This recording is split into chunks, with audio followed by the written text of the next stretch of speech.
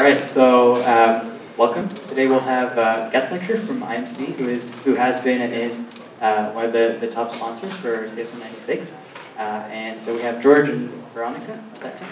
Uh, they'll be talking a little bit about you know, their, their roles at IMC and kind of what working at IMC is like. Uh, so yeah, awesome.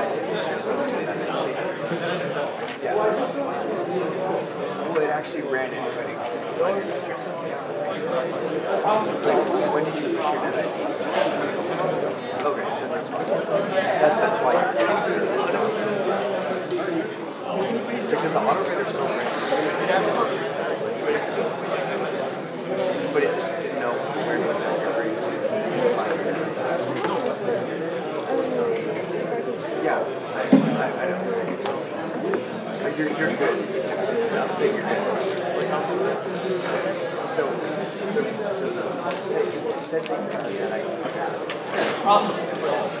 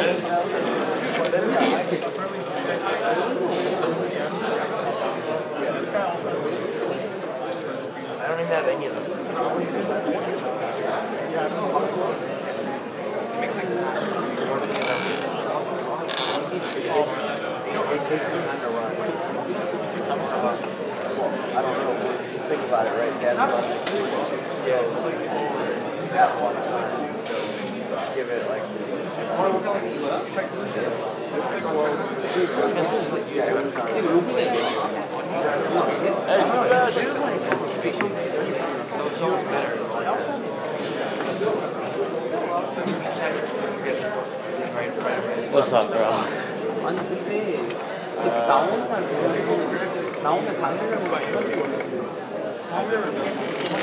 Did they just trade it like, just now? It's supposed to run at seven, right? I don't think it's actually ready.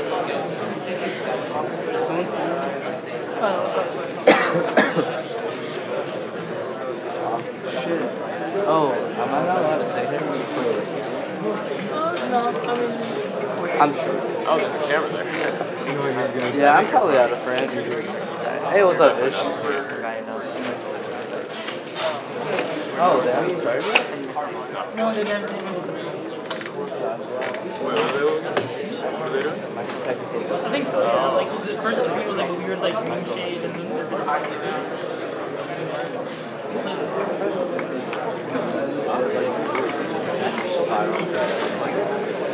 How do you? Showed me a really good solution. But for the spiral, Yeah, I like had like a position that I the time. I like a like really like keyword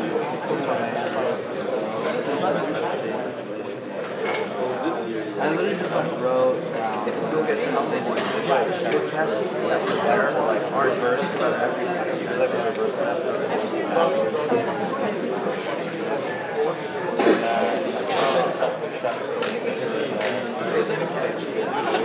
So see, like for algebra, like well, like how they get that? That that you would run when it was.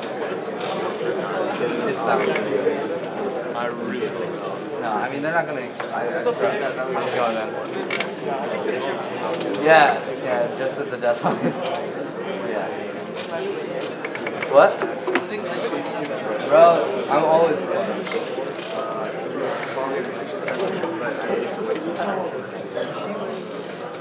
I'll check Ed. What's up? All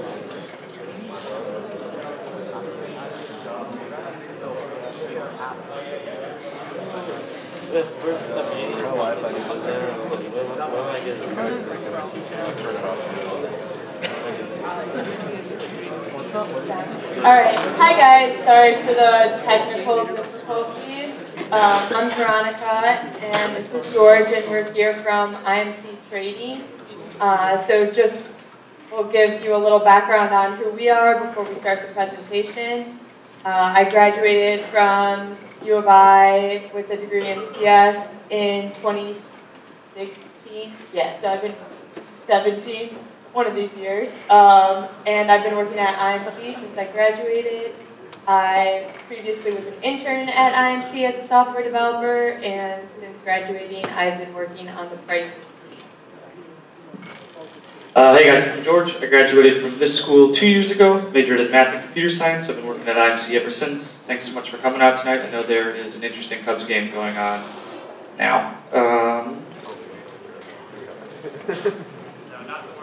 not the World Series. Um, this is a little bit of what we'll go over today, a little background on who is IMC, how we make money, and then we'll do a little bit of a deep dive into our tech stack, and then a brief overview of our development process, and if there's time, a little Q&A. So, starting with background, IMC was founded in 1989 in Amsterdam, so we are a Dutch trading company. We also have our office in the Sears slash Willis Tower in Chicago and another one in Sydney. Since the 30 years almost that IMC was started, we've grown into a global firm with over 500 employees.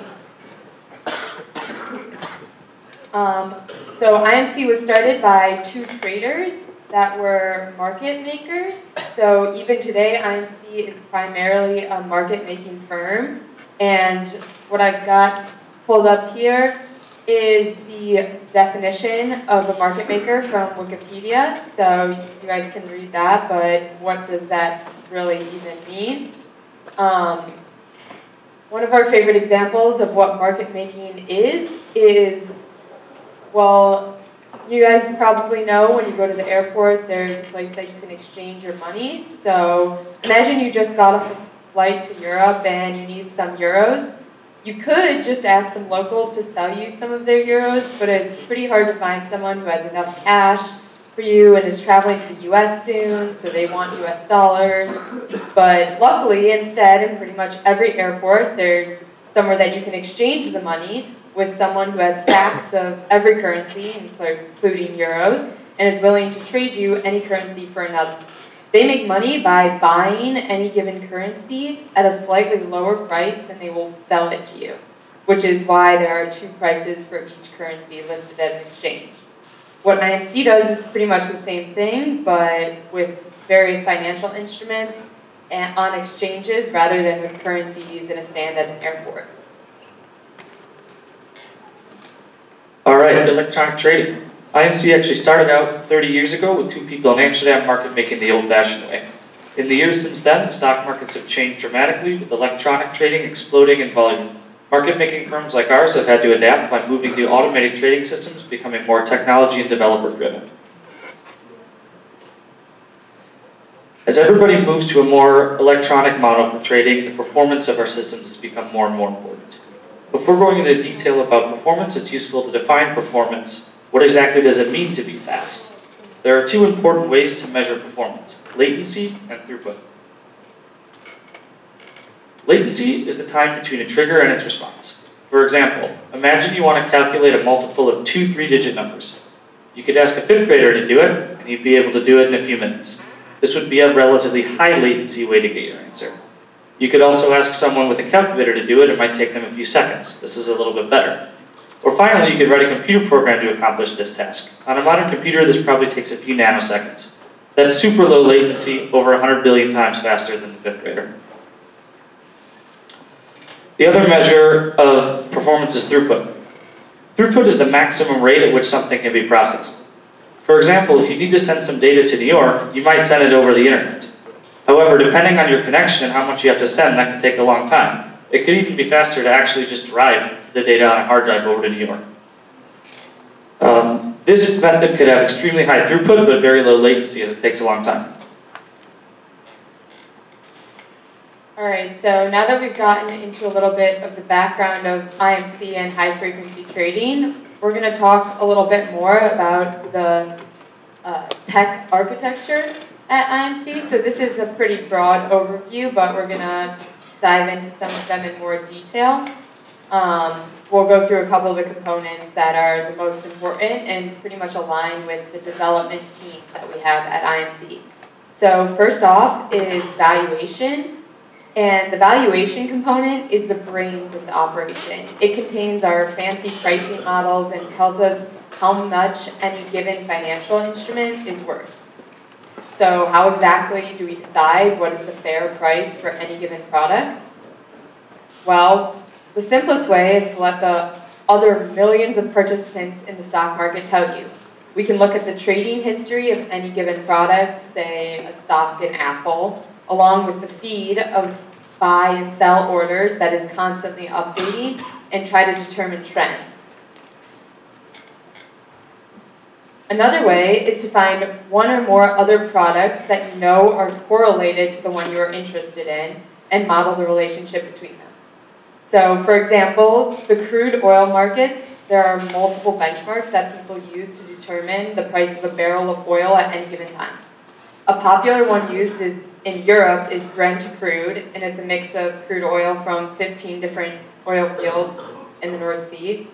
But in the US, we actually use West Texas intermediate crude, and it's defined, it's refined in the Midwest and the Gulf Coast and settled in this really remote town in Oklahoma. So this is a graph showing how Brent and WTI, the West Texas, are strongly correlated. So you can usually use changes in one to price the other. Unfortunately, you have to be careful because sometimes that correlation breaks down. For example, in early two, 2011, the storage capacity in Cushing was maxed out because it's such a small town that the price of WTI fell drastically. And you can see at the end of the graph how that relationship broke down. Another way that we can do valuation is to take advantage of the relationships between derivatives. A derivative is a financial instrument whose value is derived from one or more other products, and they can be super simple to super complicated. One example is a basket or an index. So if you've heard of the S&P 500 or the Dow Jones, those are indices that are used to track the general health of the US stock market. And it represents the average value of, for the S&P 500, the 500 companies, some of which you can see up there that make it up. Another example of a derivative is a forward contract. We're not going to ask you to like memorize or solve any of these equations, but this is what we're using when we're pricing these forward contracts, which is just, in this case, an agreement to buy something in the future instead of now. And even more complicated is a derivative is an option contract, which is like the forward, where you're buying it or selling it in the future, but it also has optionality to it. So option pricing is therefore more complicated, and this equation you see up here is called the Black-Scholes differential equation, which won a Nobel Prize and is what most option pricing at trading companies is based on. So there are three main techniques for doing valuation, the market feed, the correlated products, and the derivatives. Um, we can furthermore combine all those to get better and more sophisticated valuation. For example, you can look at the market feed for all the correlated crude oil benchmarks, and there are thousands of derivatives, and use all of that to inform you of what the pricing should be for all of them. Uh, there's definitely some challenges when it comes to valuation. So developers that work on the valuation stack face an interesting set of them, including um, there's hundreds of thousands of products that we want to be able to price in a reasonable amount of time. So we often use parallel algorithms and concurrency in programming for this uh, high throughput. We also need to understand the good software library design because the pricing libraries are used by many different components and you also have to have a background in math and quantitative uh, research.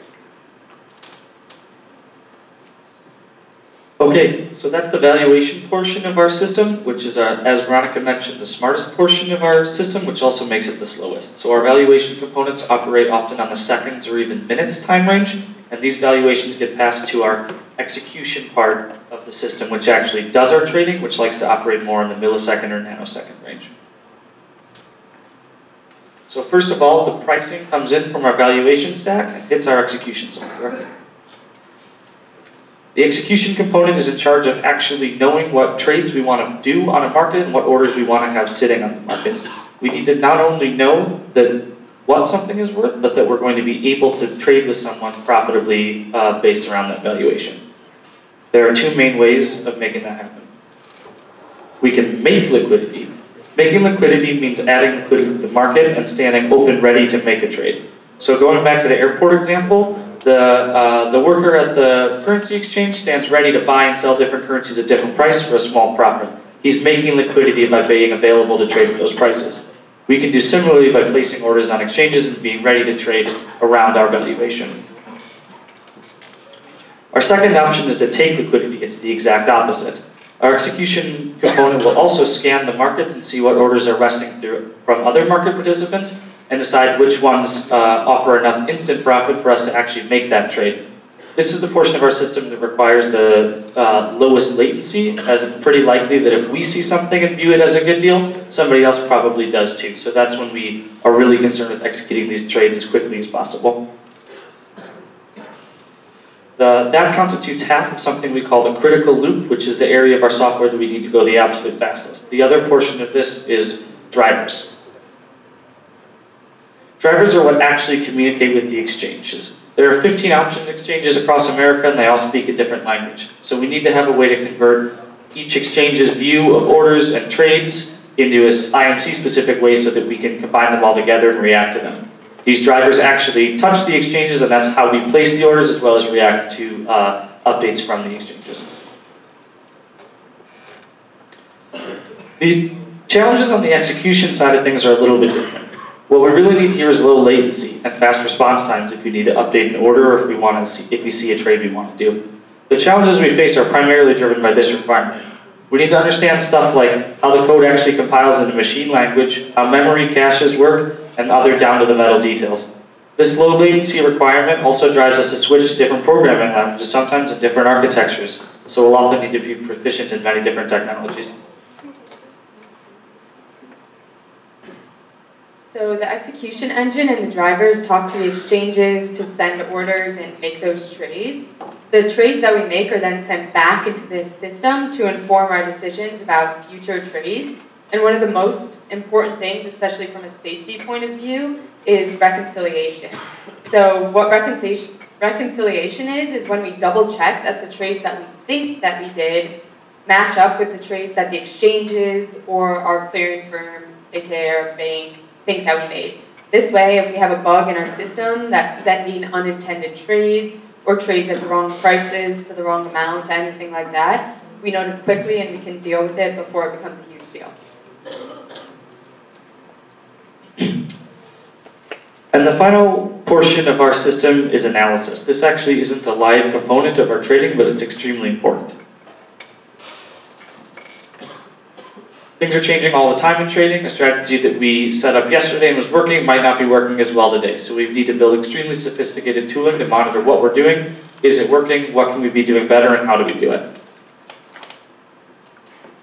The developers working on our analysis tooling have an even different set of challenges. They don't have as many performance requirements since their output is consumed by people rather than other machines, but they do have to deal with enormous amounts of data.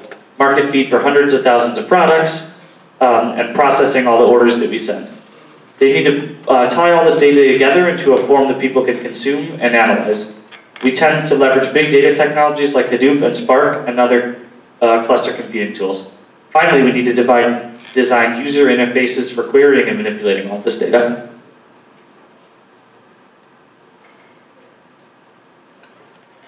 The actual last component that we're going to talk about is our risk management. So risk management is where we make sure we understand and have accounted for all the risks in the trades that we've done and the trades that we want to do in the future. So when you guys hear about the stories in the news of high frequency trading companies that lose millions of dollars in a matter of seconds, we don't want to become one of those stories in the news. So the primary goal is to make sure that we're not overly exposed to any one risk because we can never be 100% confident in our pricing, um, especially because we don't know what's going to happen in the future. For example, we might have a bunch of British pounds that we've bought on the market, and then Britain announced that they have Brexit, and we're going to be losing a lot of money no matter how much we initially thought that the, those pounds were worth.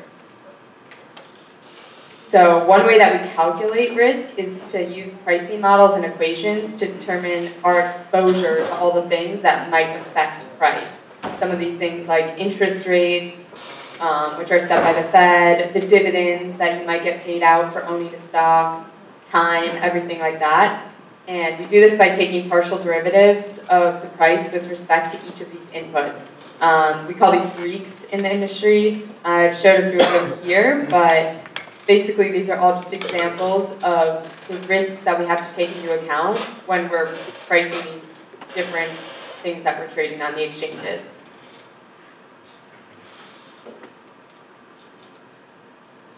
Cool. So really fast, just a little bit about how IMC works. We develop all of the trading components in-house. Very little, if anything, is done third-party. We'll definitely leverage open source libraries and frameworks to help build the software we need, but most of everything we do is built by IMC developers. We use an agile development process, releasing software incrementally, working closely with our clients, who are really just the traders at IMC. We have a continuous integration cycle, meaning that we upgrade our production systems every night and are always using a newer version of our own software. The vast majority of what we do is written in Java. Why Java? Well, there are advantages and disadvantages. The pros of Java is that there's a ton of good tooling, even within the Java standard libraries, and then also there are many different frameworks built to integrate well with Java. It's also relatively easy to develop and iterate, so we're able to get ideas into production quickly, and the performance of it is pretty good. Some of the cons of Java are the real-time garbage collection, which can be a pain when we're uh, trying to build low-latency software, as well as a lack of low-level control since the JVM takes over. Some challenges in our industry. Um, as we're getting faster, everybody's getting faster, so there's a constant demand for us to both make our systems faster and scale them up. Additionally, since trading is getting more sophisticated and algorithmic in general, there's less money to be made on each individual trade since everybody's using a similar system. And finally, there are some growing pains as we transfer in just a 30-year period from a few people trading in the pit to a, basically a full technology company. That's the end of what we've got for you guys. Um, let us know if you have any questions.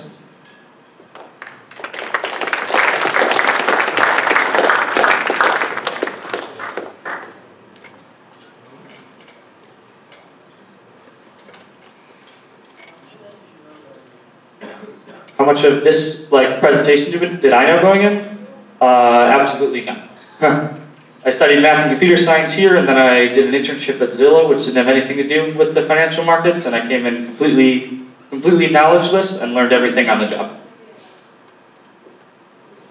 And I can echo that. Going into a trading company, I had zero finance background, and funny enough, a lot of our traders that come in actually don't have any trading experience either. It's not really something you get at college unless they've added option theory classes in the last year since I've been here. Really, all of it is super industry specific, so it's something like we have interns and full-times that are have very little experience or no experience in anything finance related, and we teach it all to you on the job.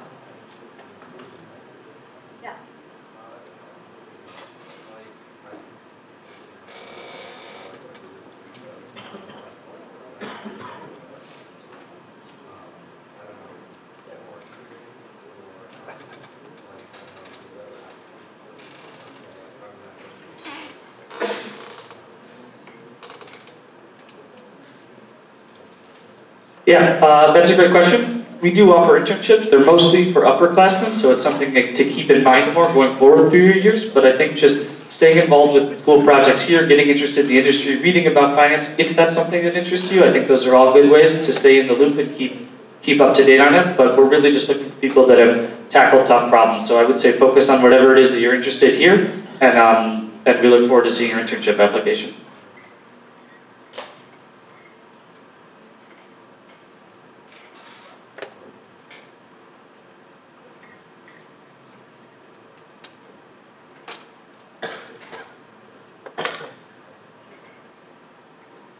Okay, cool.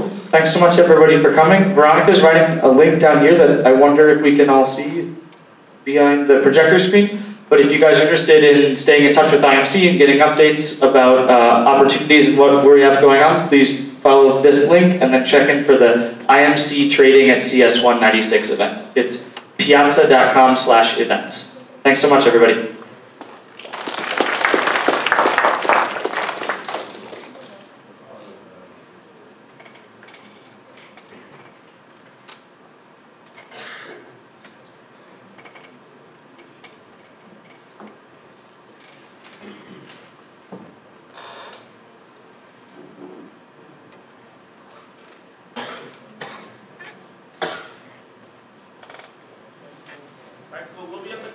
the end if anybody has uh, individual questions. Thanks, everybody.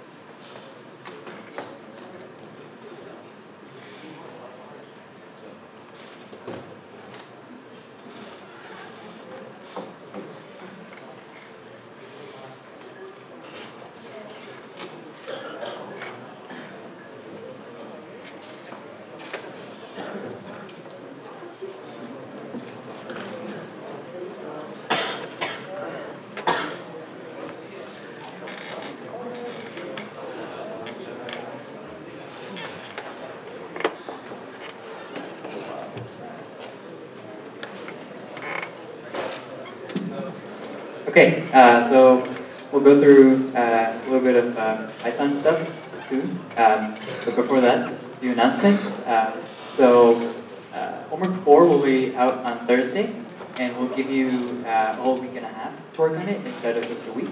Um, so it will be due uh, not next Tuesday, but the Tuesday after. And so this way you'll, you'll get you know four sets of office hours if you want help on it, or you know longer to progress.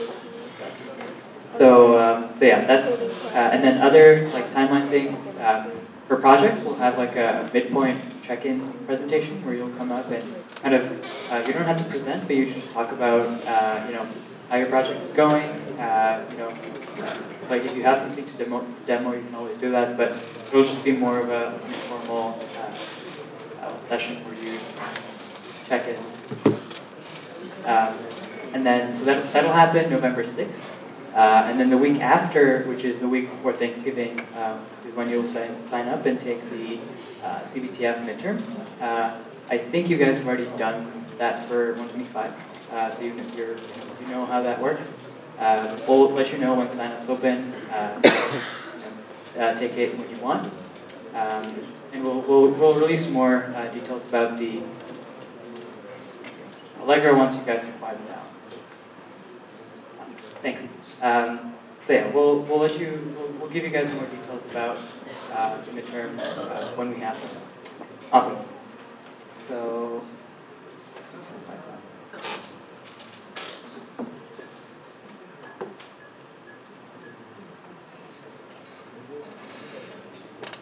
all right, uh, let's first start with how was homework three?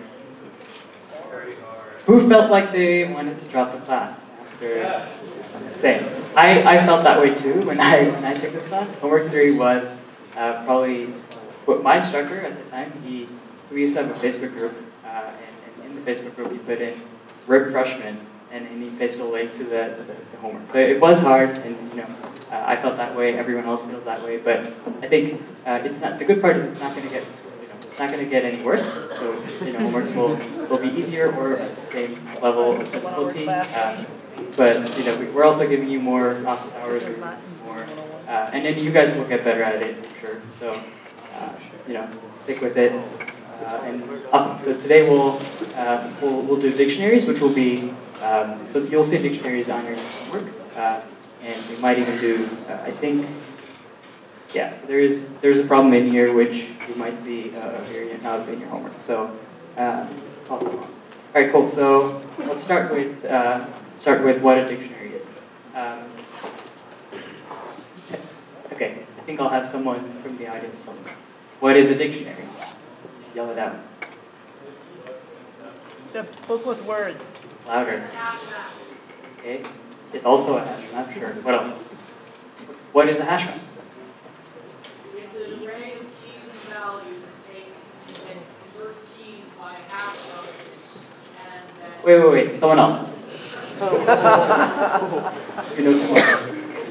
Not, not Jason too. I want, I want someone from that part of the room. You know who you are.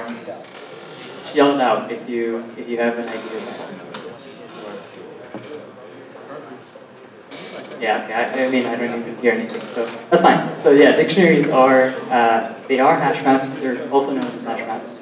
Uh, and then basically they, the, the, the, crucial part about dictionaries is that they let you store uh, what are called key value pairs. And so effectively, you know, you can have, uh, you can have mappings of uh, keys to values. And so you'll see, you'll see why that's useful and you'll see what you can do um, with that as a concept uh, in, in, in Python and other languages. So uh, a couple of important things. They are not ordered, so you can store. Um, you know, you, you, so you can't access like elements by their index, uh, but if you want to like like find a specific value, you can just kind of reference the value using the key. So you can get you can you know write code to get the value get the value of a certain key. Uh, so we'll, we'll look at some examples uh, here. So can you all read this? Big enough, right? Okay, cool. Um, all right. So what is what is line going to do?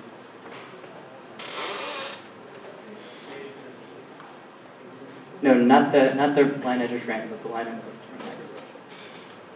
So this one. Okay, so what are the keys in this dictionary? Great, awesome.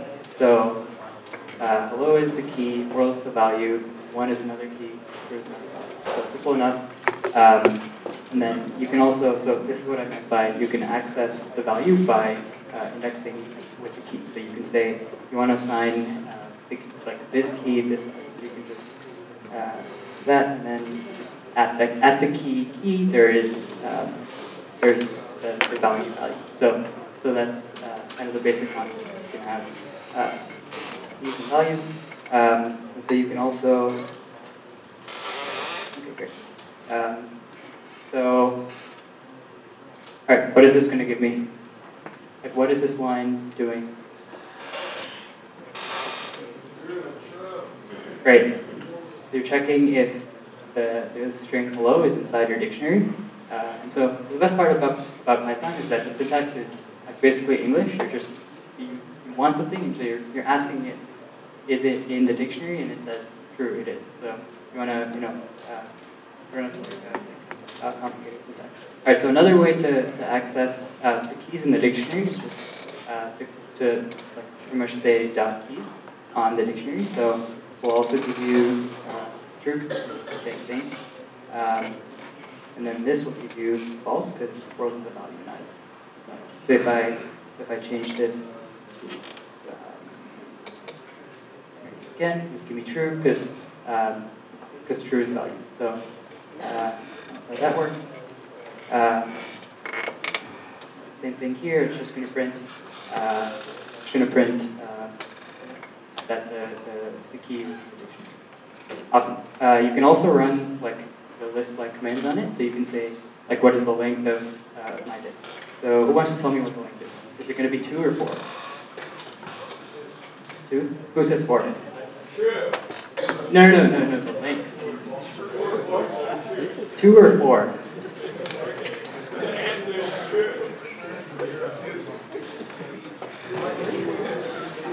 All got played. All right. Why is it three? Because I added key and value. Great. Uh, so yeah. So the point is, yeah, you can, you can still do all of your standard uh, list like commands on, on dictionaries. Um, this is how you would loop through it. So there's two ways to do it. You can also, uh, so you can pretty much say for key dictionary and then uh, print, basically just print uh, key the value. Uh, so these are the three values that we have in there. Um, the other way to do it is use dot items function, and so that will basically uh, collect all the items, and then you can like uh, iterate through uh, all those. So it's going to. So we that great. So we had a number in there. So, so you want to like make sure you have the types. Say this every class. Um, but so yeah, so that's uh, how you would, uh, I guess, uh, iterate through your dictionary and like, uh, delete things, add things. Right, so let's let's do a delete. So we, we got rid of um, both the one and the hello. And so uh, it also deletes the values that are associated with those keys. Um, so you've got to remember that they're, you know, like the key value is one pair, and so it's one individual thing, and so if you're doing the key, you're also rid of the value. Um, so, awesome. Um, all right, so now is the, the actual fun part. So why, like, why do we care about dictionaries and why do we care about this? Can you hear me? Okay. Why do we care about this like key value pair thing? So uh, I guess the most important thing that uh, that you want to remember is that dictionaries are really efficient. Uh, we haven't gotten to Big O yet, so you don't. I guess all of you don't understand what like efficiency is and runtime is. I know like I talked about it a little bit, but uh, we'll have a lecture on it. I think in the next couple of weeks. So uh, for now, what you should know is that is that dictionaries are uh, very efficient, and so you know like, there's an example here. I think um, they have whatever uh, a million a million items, and you want to like search through it. Um, a hash map for so in a hash map or dictionary, just looking up uh, the key value pair is is basically uh, in, in constant time, but it's basically uh, the fastest operation that you can do. Um, and yeah, once you get to CS, CS225, you'll actually be um, building a hash map of your own. Um, and so that's pretty exciting. So work through uh, this example. So there's, there's two more examples that we'll go through, which will be uh, pretty useful for homework. So uh, let's have, all right, let's have, uh, let's have you guys like work through it first own, uh, and then uh, I want to see I want to see if you guys know what this is doing.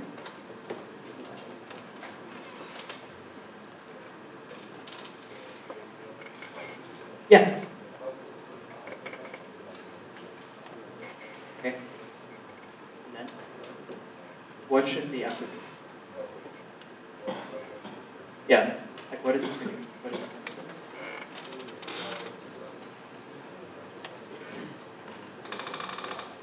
One, two, three, four, five. One, two, three, four. Sure? Okay, let's run it. I tricked you. Alright, so this, this does print 1, 2, 3, 4, 5. Who wants to walk through it tell us why? Do you want to do it now? Like, you want to, you want to tell the class? Here. Explain. Okay. Oh, cool. This works. So, like, list two is associated with both of the um, keys in the dictionary. Um, the dictionary keys are one and two, and they're associated. They're both associated with list two. So when we go to the second to last line, um, dict one. Okay, so that key one um, is associated with list two, so we're appending five to list two. And then when we call the second um, key of the dictionary, then we're, we're just calling that list two again, because one and two are both associated with list two.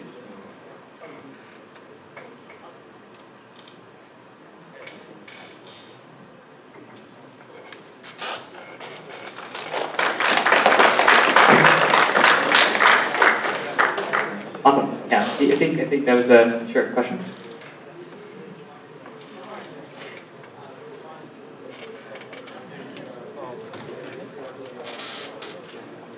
Sorry, say that again. What is your question? So you, you want to you want to assign one list to another one, and then then do what?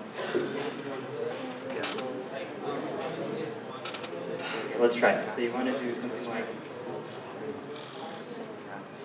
equal list two, and then do what?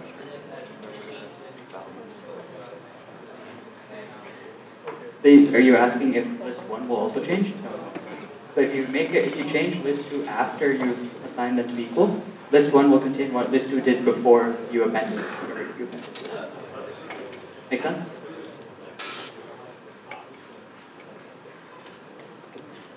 Okay. If you have more questions, we can talk after class. Yeah. Awesome. All right. Uh, so let's let's move on to this. Um, let's move on to this example. Uh, this is, uh, I think, this is a pretty uh, exciting one, I guess, because this is like similar to what will uh, show up on, on your homework. Um, so let's, uh, yeah, let's, take a second and like work through it, or I guess I can work through it with you guys. Um, so the point of the problem is to uh, just re- return a dictionary that maps a character to, to how many times it occurs. So you're counting uh, the number of times that one specific uh, character like is. And so for an input string like A, A, B, C, C, hello, it should give back um, something that looks like this, which is like, boy, which is that like, okay, A shows up two times, B once, uh, and so you get the idea. So, um, all right, let's first start with, can you do this without a dictionary? Yes. Okay. Why would you do this with a dictionary instead of a like non-dictionary? Well, that also, but the main advantage is that dictionaries are faster. And so, you know, the same thing that, that you would do without a dictionary, with the dictionary will be, uh, it'll, it'll run faster. Apply like a million, uh, you know, arguments to this program, then, you know, you'll see uh, a runtime. And we'll get more, we'll get, we'll talk more about uh, runtime uh, in, in the next couple of weeks. But, all right, so let's work through the program. So you have, uh, you set up a dictionary called character counts, um, and then you loop through uh, each character in the string. Uh, so you would go A, A, B, like one at a time, uh, and then you're checking if uh, this character is already in the dictionary. Um, so if it if it's not, uh, then you make the count of it one, right? Because you haven't seen it before. Uh, and if you have seen it before, you just increment the count of that character um, by one. So you're basically, you know, if you've seen it before, you add it like plus one. Otherwise, you just make it one, um, and then return character. So let's run this, and it gives us two one two one one two one.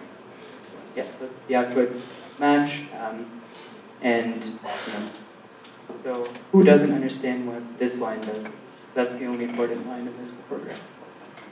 You're accessing the key of that character that you are looping through, and then you know assigning a value of one or plus equal to one, depending on uh, whether you've seen it or not. So that's basically how you would access uh, like you know keys in the dictionary. Make sense? Okay, awesome. Um, so yeah, I think that is basically it. Is there other questions about dictionaries or um, anything else that we talked about today? Okay, great. So homework four will be out Thursday, not today. Uh, and you'll have uh, Friday, Monday, and then another set of Friday and Monday office hours to, uh, to work on it. So, uh, you know. Oh, and Andrew wanted me to let you guys know that let's uh, stick to Piazza for homework questions and not Slack, because I think he like gets woken up at night or something. So uh, he doesn't know how to how to use notifications. So um, awesome, cool. Uh, I think Allegra has. Yes, uh, attendance. So to get credit for coming to class today, uh, there is a form in the Slack, and the keyword for today is IMC. So fill out the form. I know some of you probably guessed it and filled out the form, but yeah, we're predictable. So uh, awesome. So the, the link is in the Slack. Um, if you're not in the Slack, week six is a great time to join the Slack, so let's do it. Um, but awesome. I think I think George and Veronica are still here, so uh, feel free to talk to them if you have questions about IMC as well. Cool.